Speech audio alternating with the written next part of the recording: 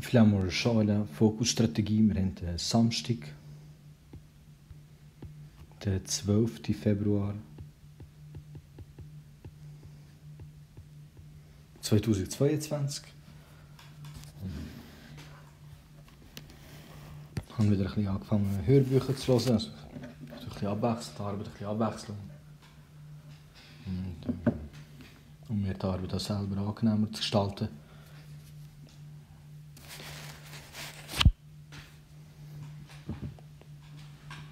Wir starten mit, äh, mit dem Einlesen von Literatur. Und zwar nennt sich das das pelasgische Orakel des Zeus zu Dodona.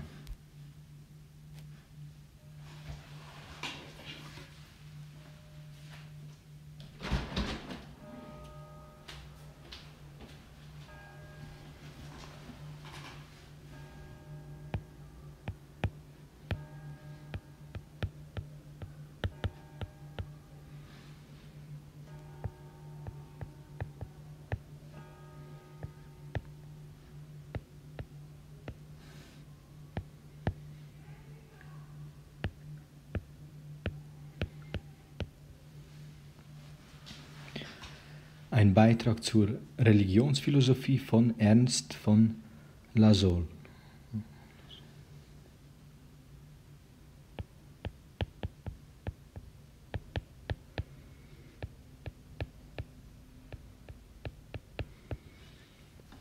Professor der alten Literatur und ähm, Rektor der Julius-Maximilian-Universität zu Würzburg, vorgelesen zum Antritt des Rektorates in der akademischen äh, Wikeaula, Wikeaula am 14. Dezember.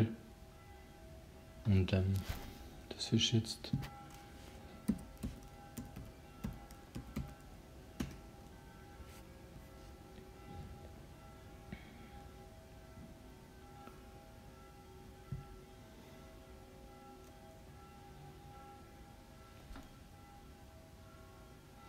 1840.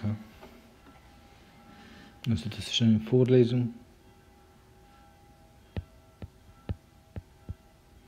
vom 14. Dezember 1840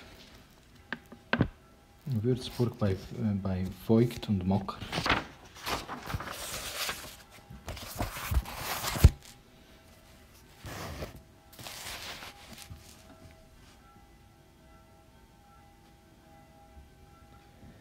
Das pelasgische Orakel des Zeus zu Dodona. Es gibt in der ganzen Altertumswissenschaft kaum eine schwierigere Aufgabe als die Erklärung der Orakel und des unter verschiedener Form bei allen Völkern in allen Zeiten vorkommenden Glaubens, dass das Zukünftige vorhergewusst werden könne. Keines der alten Völker, die Hebräer nicht ausgenommen, war mehr von diesem Glauben erfüllt als die Griechen, die im Ganzen betrachtet vorzugsweise als die Repräsentanten geistig freier Lebensentwicklung in der Geschichte dastehen. An durchgängige Täuschung und absichtlichen Trug bei allen angeführten Tatsachen zu denken, wäre unhistorisch und unpsychologisch, denn es würde damit behauptet, dass das geistreichste Volk und seine größten Denker die betrogenen Spielwerke weniger Priester gewesen, dass diese selber ein Teil des Volkes waren würde übersehen und nicht bedacht, dass man auf solche Weise der Lüge Kräfte zuschriebe, die man zur Wahrheit nicht zutraute.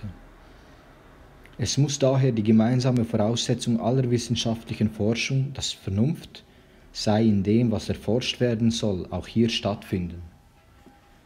Die Alten selbst, die was sie erlebt, vielfach durchdacht haben, unterschieden in ihrer Mantik zwei Hauptarten, eine natürliche und eine künstliche Weissagung. Kunst, sagten sie, wenden an die Neues durch Schlüsse zu ermitteln suchen, nachdem sie Altes durch Beobachtung erfahren haben. Kunstlos verfahren die nicht aus äußeren Zeichen, sondern durch innere Kraft der Seele das zukünftige Vorempfinden. Die künstliche Weissagung beruhte ganz auf Zeichendeutung und dem Glauben, dass die Götter, die ihrer Natur nach das Vergangene und Kommende wie das Gegenwärtige wissen, aus Liebe zu den Menschen und ihren Bitten entsprechend durch äußere Zeichen, Onueia, ich schreibe es kurz auf,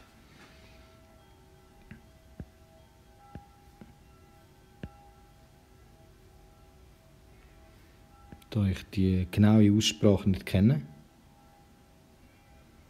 Und das ist eher wie ein U, äh, Mü, wie ein Mü.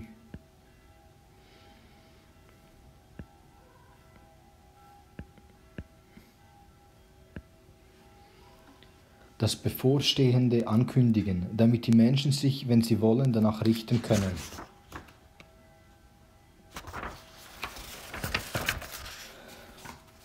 Solcher Zeichen nun, welche nichts anderes seien als Werkzeuge des göttlichen Willens, unterscheiden die Griechen vier Klassen. Ol Olivol, Vögel,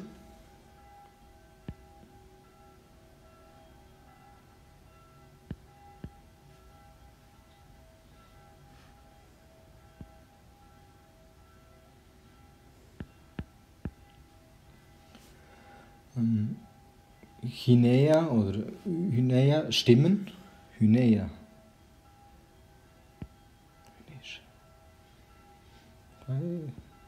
Also ich kenne die genaue griechische Aussprache nicht und aus dem Grund ich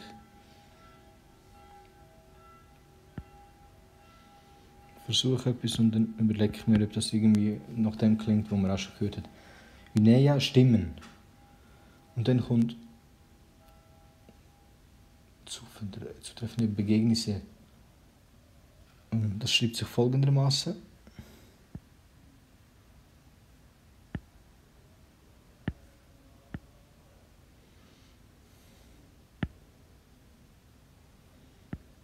Ovuboja. Hm. Zutreffende Begegnisse und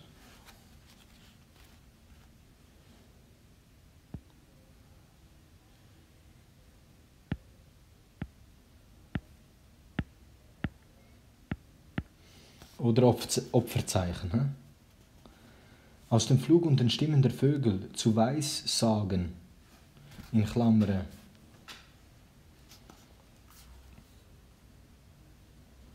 Ich schreibe das gerade hier oben. Und dass es zusammengeht. Oi.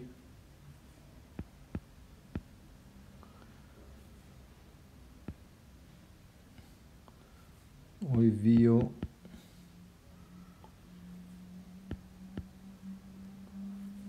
Texin. Auspicina. Aus, Auspicina. Auspicina. Scheint bei Griechen und Römern eine der ältesten und allgemeinsten Arten von Divination gewesen zu sein, da von ihr häufig die ganze Kunst benannt wird. Ausdrückliche Lehre war dabei, dass nicht sowohl die Vögel selbst, sondern die Götter durch sie die Anzeichen geben. Ein Analogon dieses Glaubens findet sich überall, auch bei uns, und ist zum Teil auf wirklicher Naturbeobachtung gegründet. Wie denn für atmosphärische Veränderungen manche Vögel unleugbar eine feine Vorempfindung haben. Auch ist in den Vögeln in ihrem Kommen und Fortziehen in der Tat eine kosmische Bewegung. Sie sind von der allgemeinen Korruption des Lebens am freiesten, leben in dem relativ geistigsten Element der Luft und werden daher nach der Anschauungsweise der Alten unmittelbar von Gott getrieben. Die sogenannten Stimmen, göttliche und dämonische, scheinen der jüdischen Lehre von der Bat Kol nahe verwandt und beruhten auf Erfahrungen, die, wie schwierig sie auch zu erklären, doch schwerlich geleugnet werden dürfen. Zeus, von dem in letzter Instanz auch sie ausgingen, wurde darum als, ähm, ich schreibe es kurz auf,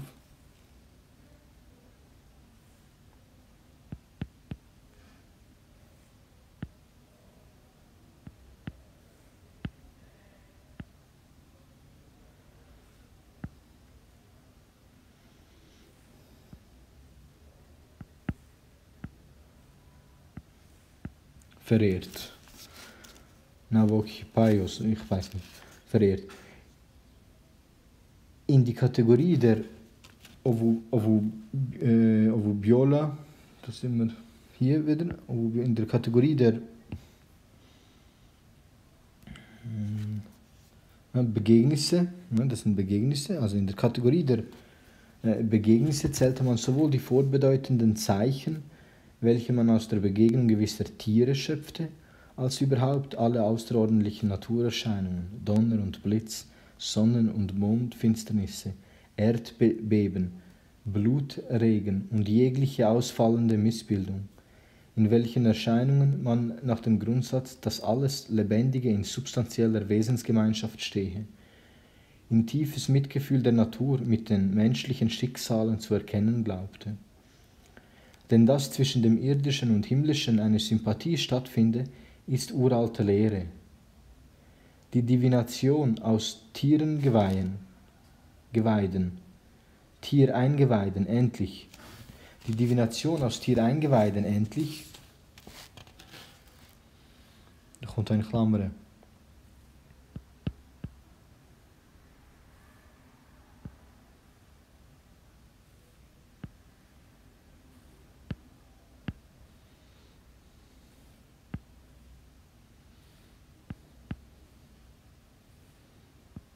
etwas mit Theia. Hm? Yukumateia. Dann geht es weiter ähnlich, ähnlicher Start, andere Endung.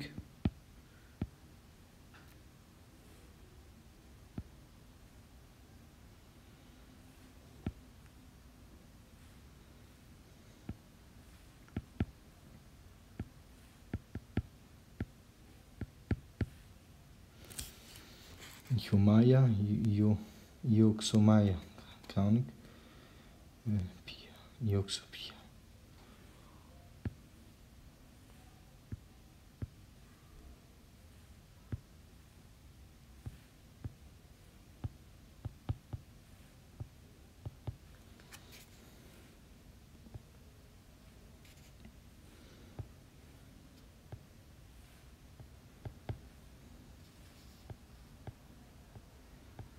Also Training, Worttraining findet hier statt.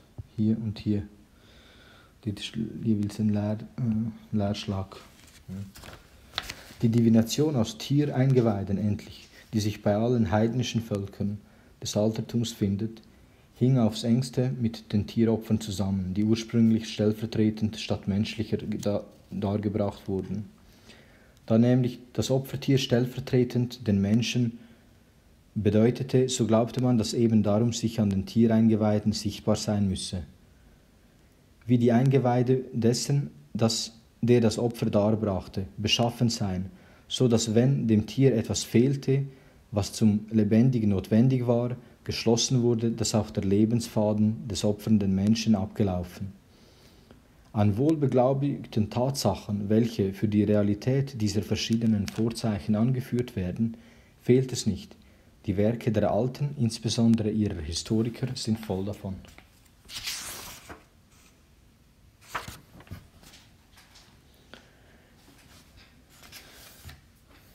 Ebenso, ja noch mehr konstatiert sind die Tatsachen der natürlichen Weissagung aus prophetischer Bewegung der Seele.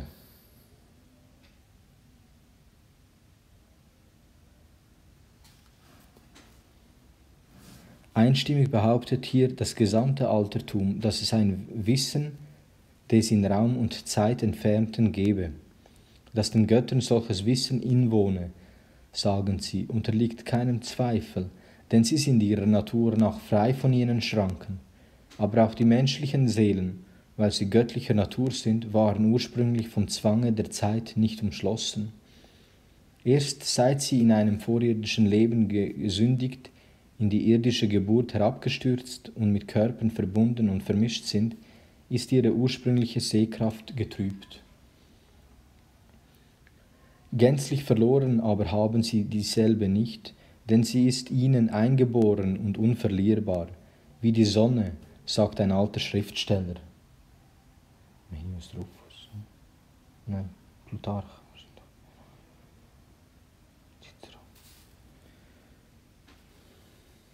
Sagt ein alter Wie die, alte, wie die Sonne, sagt ein alter Schriftsteller, nicht erst dann, wenn sie aus den Wolken hervortritt, glänzen wird, glänzend wird, sondern es immer ist, und nur wegen der Dünste, die sie umgeben, uns finster vorkommt.